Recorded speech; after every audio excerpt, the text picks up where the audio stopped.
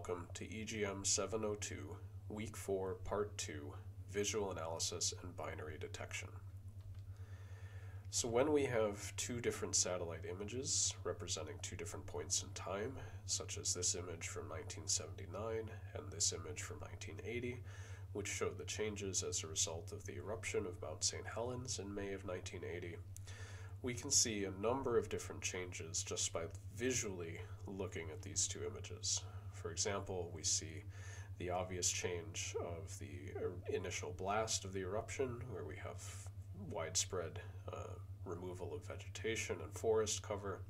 We also see changes as a result of the various lahars that flowed down the different river valleys around the mountain, the changes to the mountain itself, to the lakes around, and you might even be able to pick out some changes as a result of ash cover, at least in the initial um, months after the, uh, after the eruption.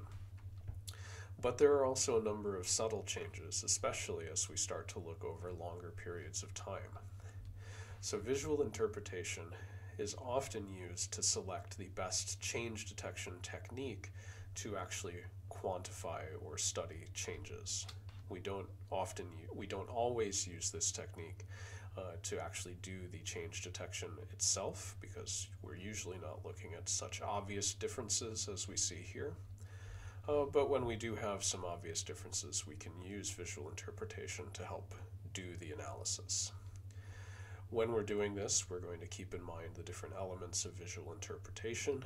For example, changes in tone or hue. Um, you can see, for example, the change from the vegetation colored red in the 1979 image to the more gray tannish color uh, of the volcanic material in the 1980 image.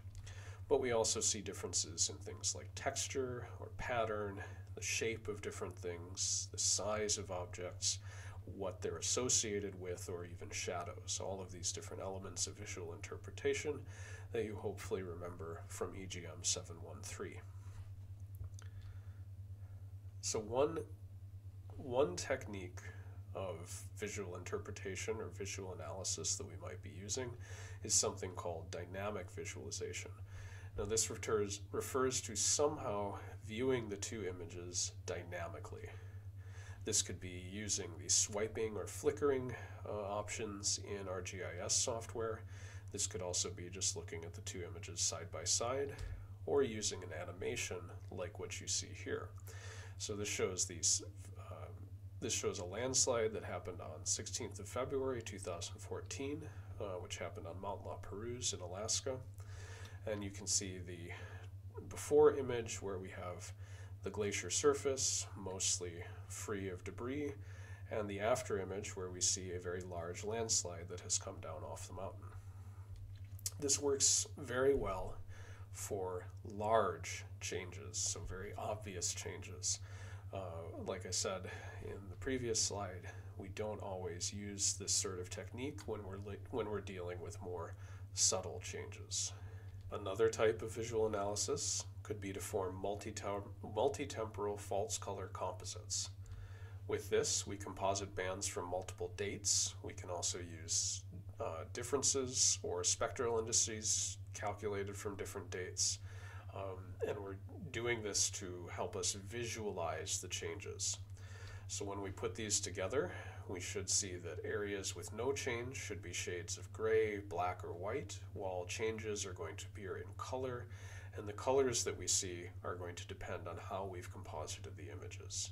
So in this example, I've taken an image from March 2nd and set that to the red channel of the image, while the green and blue channels are an image from 7th of February.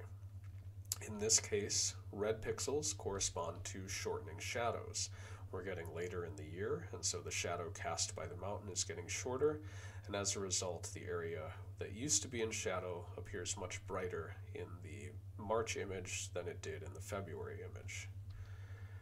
Uh, it, we also have blue areas.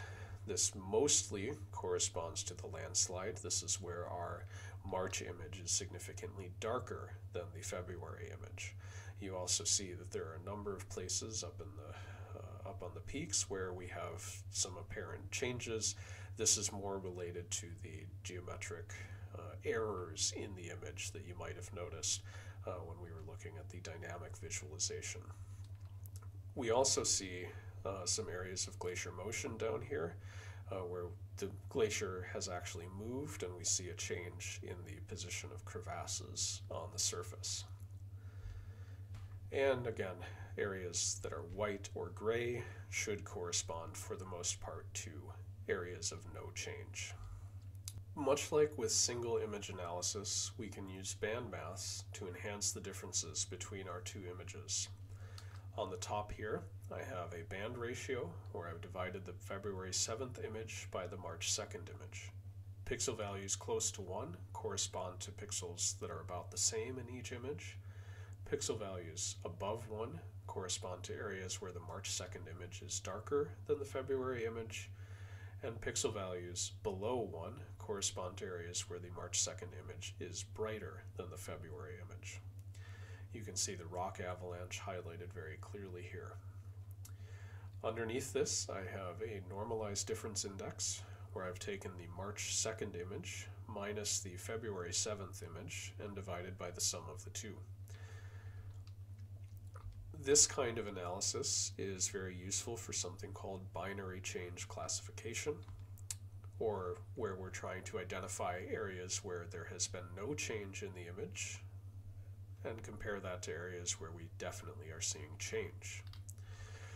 Usually to do this, we pick a threshold value or multiple threshold values in order to classify or in order to distinguish between change and no change pixels. We can also use arithmetic images as an input. For example, we could look at a difference of differences uh, or a ratio of differences uh, in order to try to enhance the, the changes even more. When we're choosing a threshold, one thing to keep in mind is that the distribution of our differences or of our ratios is normally, or I should say, usually approximately normal. That is, it follows a normal distribution or fairly close. And we might also need to enhance or adjust the image uh, in order to help make sure that this is the case. For example, we could use histogram matching to make sure that the brightness levels are approximately the same. So when we're looking at the distribution of differences or the distribution of band ratios, uh, the change pixels, that is the pixels where there's actually a difference between the two images, are going to end up in the tail of the distribution. And we can select the threshold or we can determine where those tails begin in a number of different ways. We could, for example, think of this statistically using the, st the standard deviation around the mean. Uh, so if we choose a um, if we choose a threshold of plus or minus one standard deviation, for example, uh, we might see a threshold that comes about here in our distribution. Two standard deviations is going to be a bit further away, and so on. We can also choose these symmetrically so that they're located in the same place on either side of our mean difference or our mean band ratio. Or we can choose them asymmetrically, where we have uh, different thresholds depending on whether it falls above or below the mean. So to sum all of this up, visual interpretation can be used to help us choose a change detection method. That is, that it might help us see some of the more obvious changes that help point us in the direction of which detection method can help us to pick out some of the less obvious changes. We can also use this to help interpret or quantify changes directly, especially this is especially true when we have very obvious differences between our images. If we're using band maths, these are also useful for change detection, um, much as they are useful for helping us to identify objects in a single image and something called binary change detection is where we're actually picking a threshold in order to classify an image into change and no change pixels.